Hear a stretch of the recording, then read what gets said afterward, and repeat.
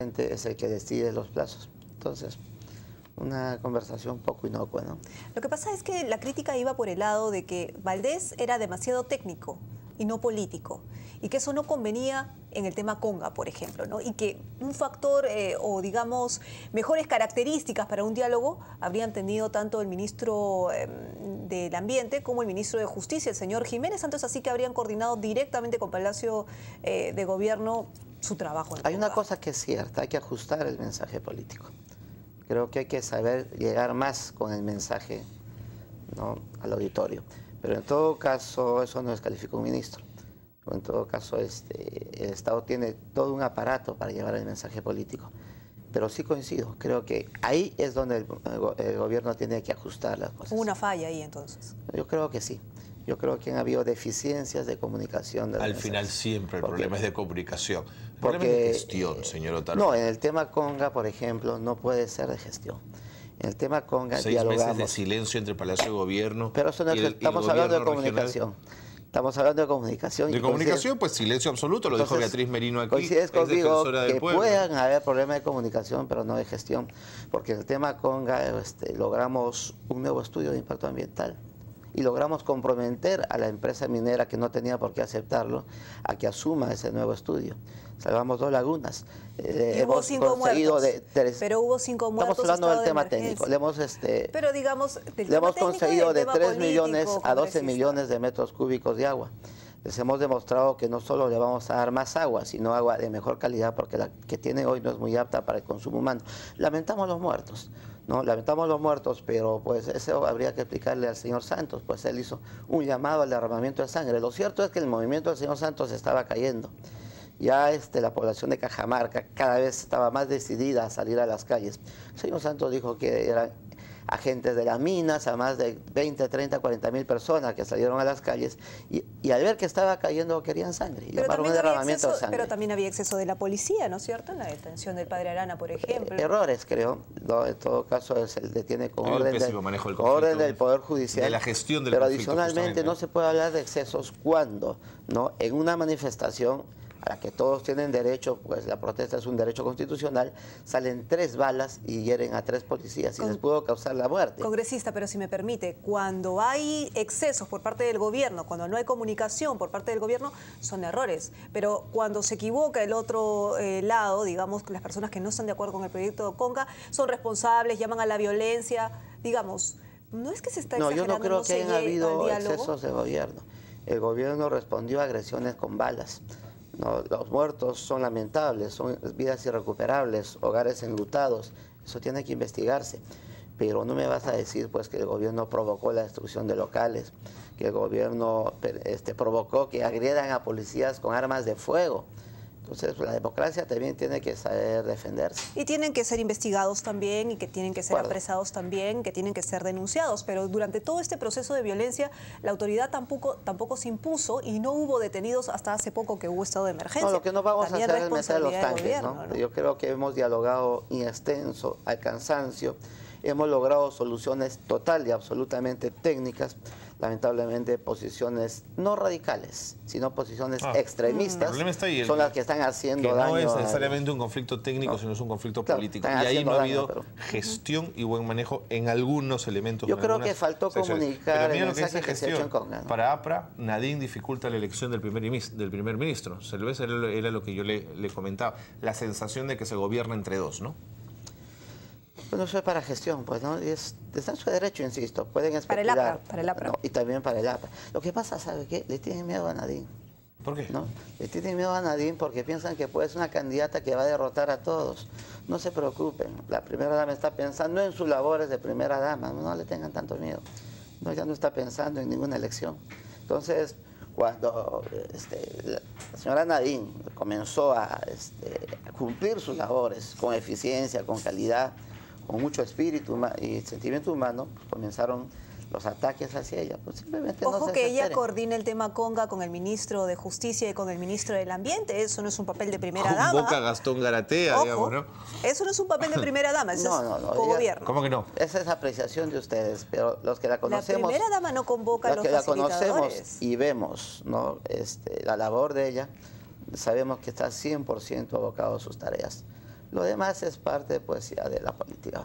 Gastón es, es, tapar, es, tapar, el sol con un dedo, congresista. Que había sido convocado por ella, ojo. Que no lo quiera reconocer usted está bien. Está bien, es políticamente entendible. No, no, no. Pero no es cierto, digamos. Nos movamos en el marco de la verdad y la mentira, no es cierto. No, de ninguna manera. O sea, Nadine Heredia convocó a Garatea para el tema para el tema de la facilitación del conflicto? En ese caso concreto no sé, pero insisto y reitero, las que la conocemos la vemos abocada al 100% de su tarea de primera dama. Y el miedo que le tienen es innecesario, porque al final de cuentas ella está llegando al corazón del pueblo. Muy bien, pero no es miedo, en todo caso es decir, esas actividades no son para la primera dama. Eso no es miedo. Porque más no es miedo, porque, no, no, puede postular a la presidencia, la ley, la ley, se lo impide. En efecto, lo que dice, ahí, lo que dice la persona es especulación una mera y simple especulación. De acuerdo. Ojo que no solamente es el APRA, pero en fin. Vamos a pasar ya al Congreso de la República, que en realidad este es el tema que nos atañe en estos momentos, y es que hay problemas para la designación. Parece ser que Víctor Isla ha generado conflicto ahí con, con algunas personas eh, al interior. No, contrariamente, más bien como nunca, la solidez de su candidatura es evidente.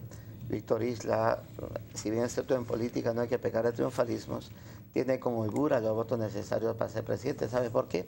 Porque ha sabido generar consensos. Qué bárbaro, qué diferente podemos entender la política. Porque en Alianza por el Gran Cambio y en la Alianza Parlamentaria están que se sacan los pelos por la decisión. Porque no quieren, Es cierto, de tener que apoyar a Isla. Víctor Andrés García Belaunde por un lado, Javier Bedoya de Vivanco por otro, ¿cierto? Víctor Andrés García Belaunde quería ser candidato. Es una persona de mucho valor, de mucho prestigio en el Congreso. No, entonces, Raúl Castro ha tenido que llamar al orden a Bedoya para que vote en favor de Isla. Lo que fuese, pero se ha ganado un amplio consenso. En las bancadas tampoco no puede haber unanimidad. Sin embargo, el sentir de la gran mayoría de bancadas, yo creo del 70, 80% de los congresistas es el apoyo a Víctor Isla. Es decir, va a ser un triunfo con mucha holgura. Y eso lo vamos a demostrar con los votos. Si no es triunfalismo, simplemente es reconocer la labor de consenso en un Congreso en el que no somos mayoría, sino somos la primera minoría, el trabajo de consenso que ha hecho Víctor ¿Y cuáles son las negociaciones políticas ahí? Porque Perú Posible no quería al principio y luego accedió después de una conversación con Gana Perú. El tema es consolidar el crecimiento del Perú, fortalecer la democracia. El tema es eh, un Congreso que respetando la separación de poderes y de independencia que tiene que tener una democracia, pueda pues este, trabajar por mantener ese crecimiento del Perú y por coadyuvar a solucionar los conflictos sociales que, por ejemplo, se han generado. Ahora, y creo que Víctor Isla tiene el perfil para ello. Sí, ustedes durante todo este primer año, digámoslo así, han intentado alejarse de la idea o, eh, sí, pues de la idea de que los vinculen con el chavismo, ¿no es cierto? Eh, que el presidente Humala no tiene nada que ver con el presidente Chávez y que la bancada de Gana Perú no recibe ningún tipo de ayuda por parte del chavismo.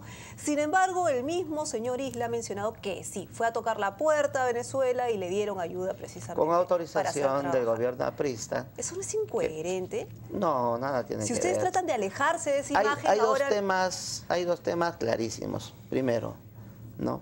Ponte en los ojos de esa gente pobre que ha solucionado su problema de la vista. Entonces eh, sería hasta maldad cuestionar eso. Los estados, decían los norteamericanos, aunque una posición poco ética, no tienen amigos ni enemigos, tienen intereses. Y qué mejor que pues solucionar la vida de 100, 200, no sé cuántas personas fueron que estaban condenadas a la ceguera.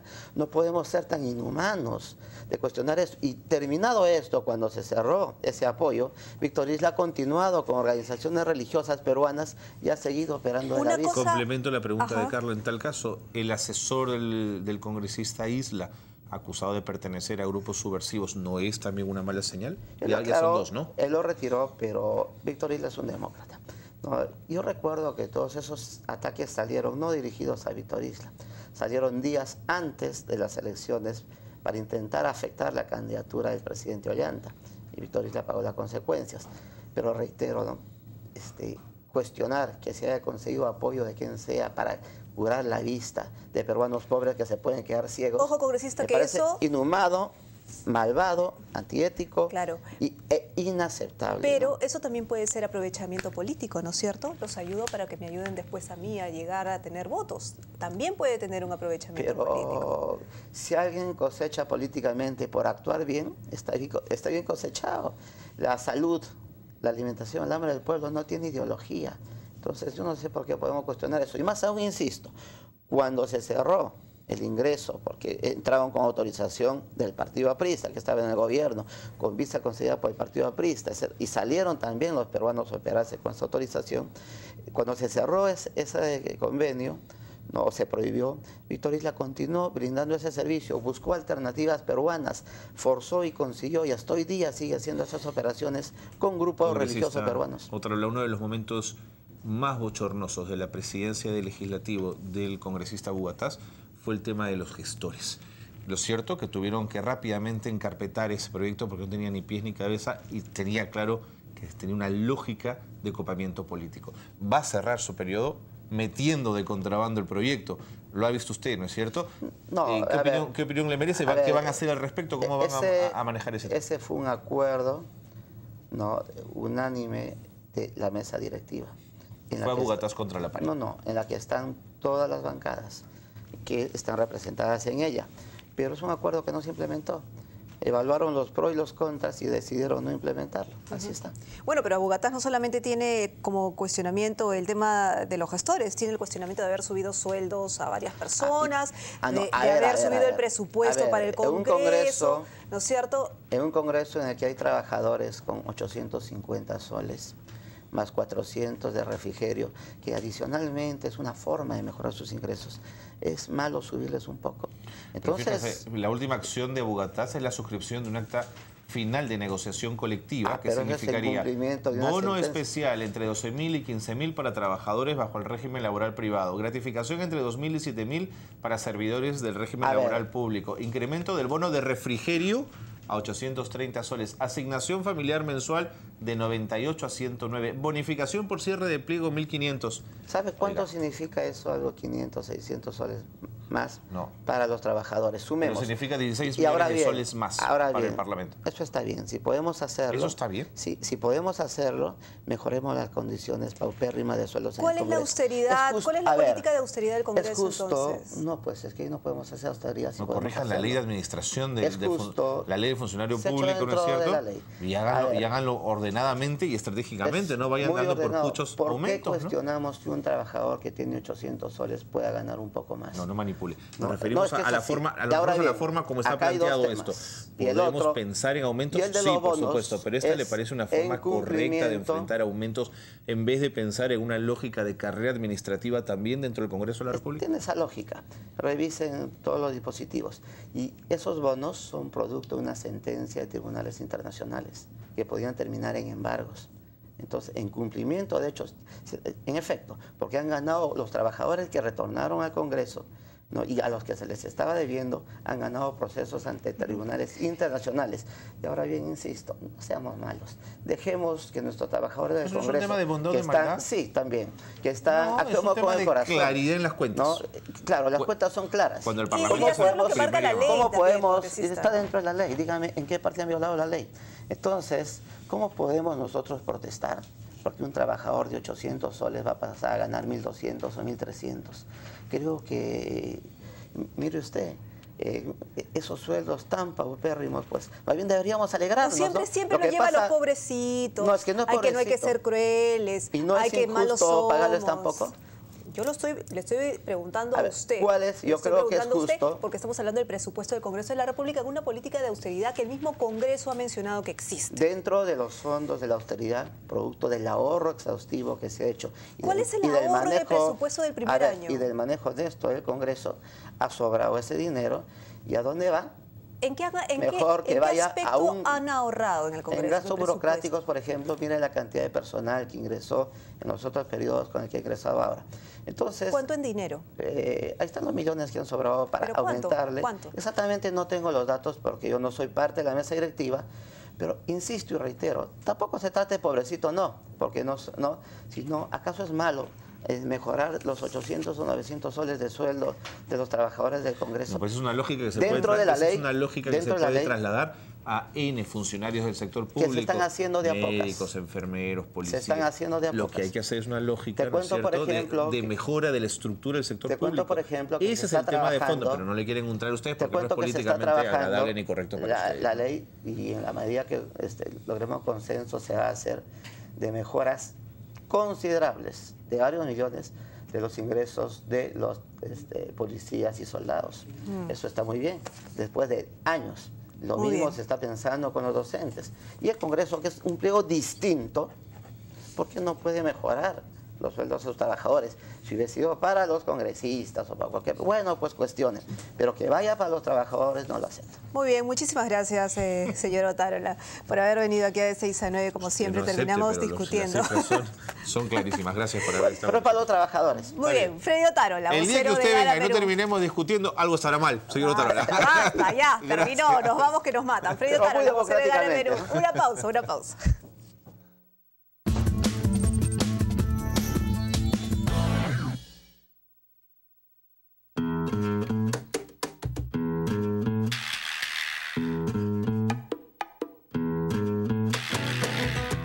Estas fiestas, Claro tiene el smartphone que va a tu ritmo, porque todos los postpago Claro de la promoción vienen con comunicación ilimitada para toda la vida. Además, llévate 50% de descuento en los servicios para tu casa de la promoción por tres meses. Felices fiestas te desea Claro. ¿Cómo está? González, ¿no? Ya le hemos depositado su gratificación. Firme ahí, por favor. Gracias.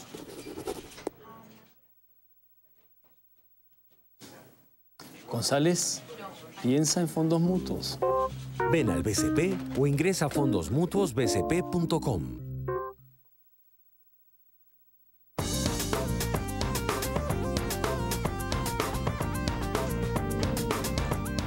Noticias del interior de nuestro país. Eh, la sala de apelaciones de la Corte Superior de Justicia de Lambayeque cambió el mandato de prisión preventiva por comparecencia a las 15 personas recluidas preventivamente en el penal de Pixi por los sucesos violentos ocurridos en Celendín, donde murieron cuatro personas. Los eh, detalles con Ronald Arcila y Wilson Alarcón.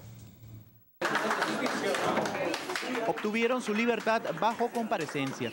15 personas recluidas preventivamente en el penal de Pixi, en Chiclayo, luego de los sucesos violentos ocurridos el 3 de julio en la provincia cajamarquina de Celendín, en los que murieron cuatro personas. Saldrán de prisión en las próximas horas.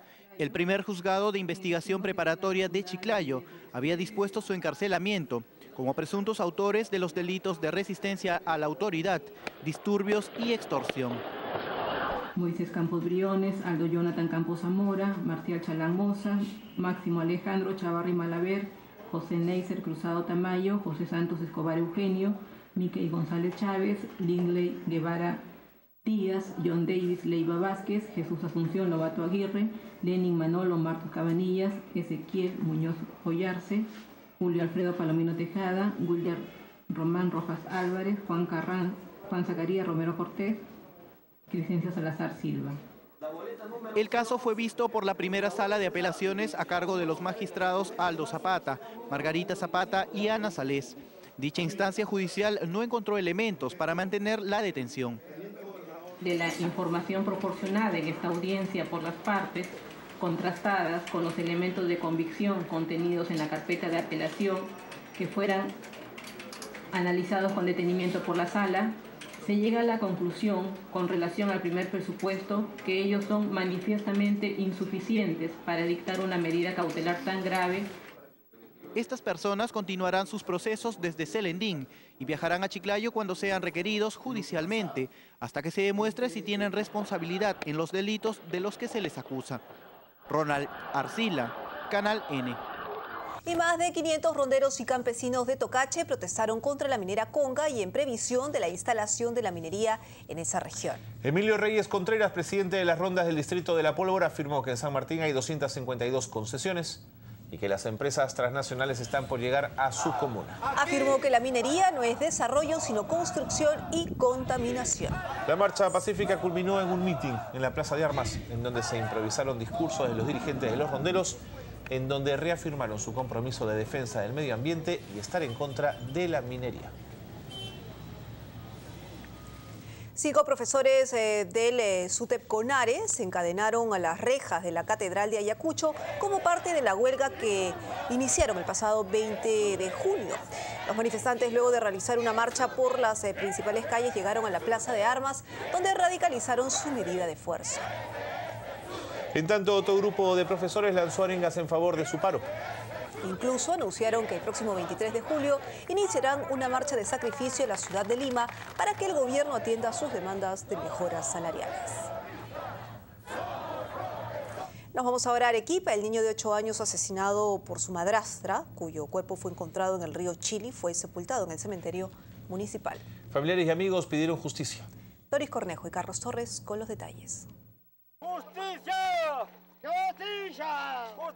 ¡Justicia! Pidieron los familiares y amigos del menor de 8 años, asesinado por